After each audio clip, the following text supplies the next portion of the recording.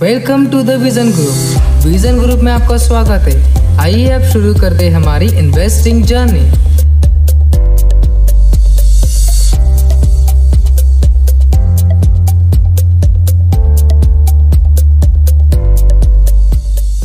आइए जानते हैं कैसे हम अपनी आईडी स्क्रीनर की वेबसाइट पर आसानी से बना सकते हैं। सो लेट्स स्टार्ट पहले आपको आपका वेब ब्राउज़र ओपन करना है। उसके बाद आपको सर्च बार पर स्क्रीनर टाइप करना है एंड सर्च ऑप्शन पर क्लिक करना है। जैसे ही आप क्लिक करेंगे, आपको फ़र्स्ट साइट पर क्लिक करना है और आप स्क्रीनर की ऑफिशियल वेबसाइट पर एंटर हो जाएँगे। राइट right साइड में आपको टू ऑप्शंस मिलेंगे। फ़र्स्ट मिलेगा आपको लॉगिन एंड सेकंड मिलेगा गेट फ्री अकाउंट यदि आपकी आईडी स्क्रीनर की वेबसाइट पर पहले से ही एग्जिस्ट है तो सिंपली आपको लॉगिन पर क्लिक करके आपकी ईमेल एंड पासवर्ड एंटर करना है।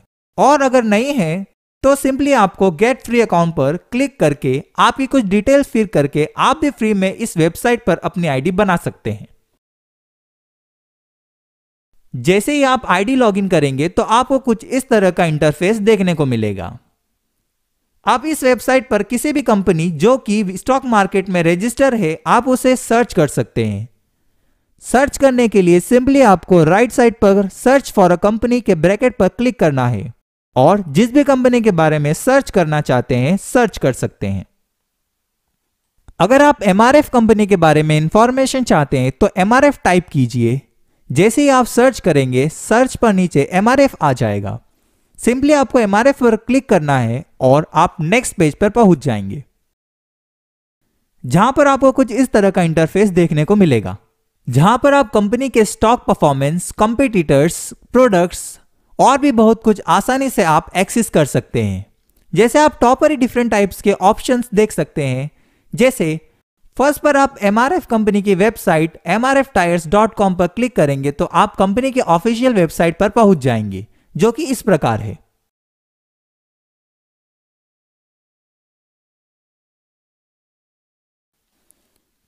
आप चार्ट पर क्लिक करेंगे तो आप यह पता लगा सकते हैं कि कंपनी के स्टॉक की परफॉर्मेंस हर साल कैसी रही।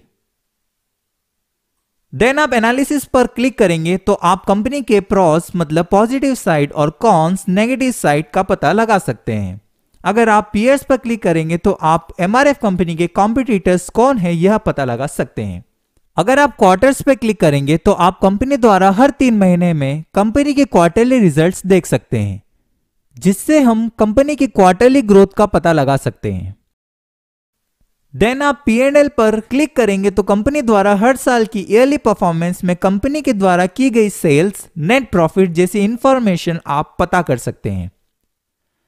देन ए बैलेंस शीट जिसमें थ्री पार्ट है शेयर कैपिटल शेयर होल्डर द्वारा लगाया गया पैसा असेट्स जो आपको इनकम जनरेट करके देता है लाइबिलिटीज जो आपके एक्सपेंसेस बढ़ाता है, इसे हम डिटेल में आगे समझेंगे। Then a cash flow ratio then investor then document जिसमें हर साल कंपनी अपनी फाइनेंशियल रिपोर्ट प्रेजेंट करती है। यह फाइनेंशियल रिपोर्ट क्या होती है? यह टॉपिक हम आगे कवर करेंगे। जिसमें आप कंपनी के द्वारा की गई अनाउंसमेंट्स एनुअल रिपोर्ट्स और रेटिंग्स आसानी से देख सकते हैं। स्क्रीनर की वेबसाइट हमारी दोनों एनालिसिस करने में बहुत मदद करेगी। तो आप भी अपनी आईडी जल्द से ही स्क्रीनर की वेबसाइट पर बनाइए और दोनों एनालिसिस को इजीली कीजिए।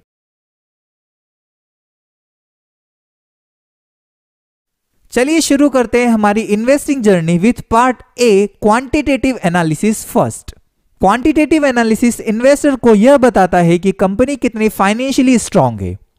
याद रखिए बैंक भी उसी व्यक्ति को आसानी से लोन देती है, जिस व्यक्ति का अकाउंट मेंटेन हो और उस व्यक्ति के अकाउंट में हमेशा मिनिमम दस हज़ार से ज़्यादा अमाउंट रहता हो।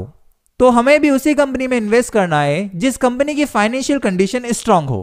तो आइए जानते हैं कैसे एक इन्वेस्टर किसी भी कंपनी की फाइनेंशियल स्ट्रेंथ या फाइनेंशियल कंडीशन आसानी से पता लगा सकता है। जैसे कि हमने पहले भी कहा है कि एक सक्सेसफुल इन्वेस्टर बनने के लिए आपको एल्बर्ट आइंस्टीन जैसा आईक्यू नहीं चाहिए, ना ही स्वामी विवेकानंद जैसी मेमोरी बस चाहिए तो सिर्फ़ कुछ समय, वो भी अपने सीखने पर। किसी भी कंपनी की फाइनेंशियल कंडीशन जानने के लिए हमें कुछ रेशो को कैलकुलेट करना होता है। तो हमारा पहला रेशो है पीई रेशो इसे हम प्राइस टू अर्निंग रेशो भी कहते हैं। यह रेशियो हमें यह बताता है कि किसी भी कंपनी का शेयर कितना गुना महँगा है आज।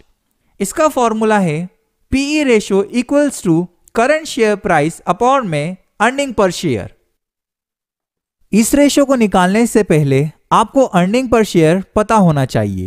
अर्निंग पर शेयर को निकालने के दो तरीके होते हैं। पहला होता है easy method and second one है ट्रिकी मेथड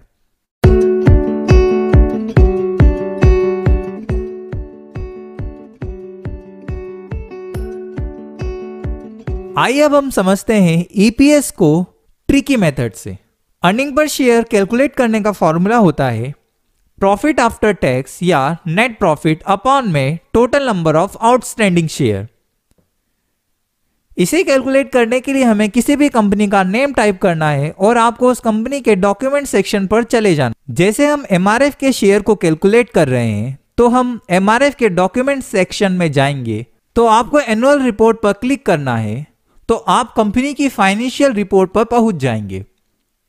तो फर्स्टली आपको कंपनी के consolidated profit and loss account में जाना है। कंसोलिडेटेड का मतलब है कि कोई भी कंपनी का ओवरऑल बिज़नेस जो कि इंडिया और आउट ऑफ़ इंडिया में है। एंड स्टैंडलोन का मतलब है कंपनी का ओनली इंडिया में बिज़नेस तो आपको कंसोलिडेटेड प्रॉफिट एंड लॉस में जाना है और आपको वहाँ पर प्रॉफिट फॉर द ईयर या प्रॉफिट आफ्टर टैक्स या टोटल नेट इनकम को फॉर्मूले में पुट करना है। तो MRF की टोटल नेट प्रॉफिट है one four two two five seven zero zero zero zero and zero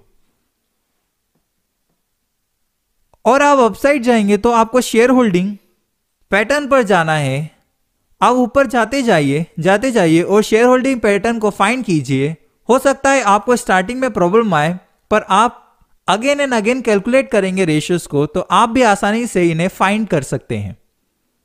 तो हम आ चुके हैं शेयर होल्डिंग पैटर्न पर। जिस भी ईयर का पी कैलकुलेट कर रहे हैं, उस ईयर का हम शेयर होल्डिंग या नंबर ऑफ़ शेयर हेल्ड देखेंगे। वो भी टोटल तो हमें शेयर होल्डिंग पैटर्न में grand total A plus B plus C पर जाना है और टोटल शेयर को फॉर्मूले में पुट कर देना है। तो टोटल शेयर से four two four double one four three तो अब हमें इन डिजिट्स को ईपीएस e के फॉर्मूले में पुट करना है, जो कि हमारा फॉर्मूला था।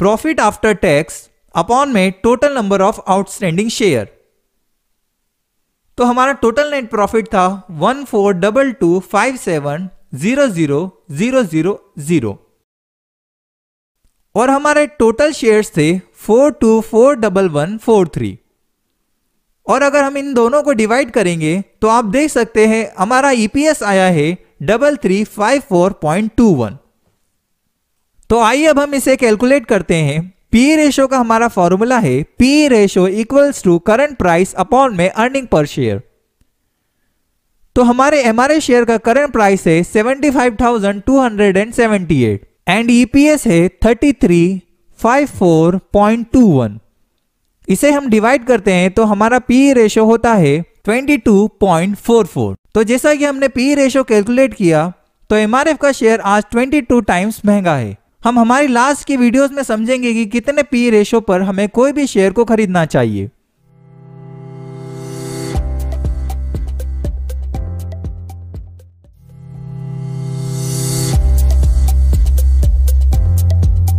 Thanks for watching this video. We will meet in our next video.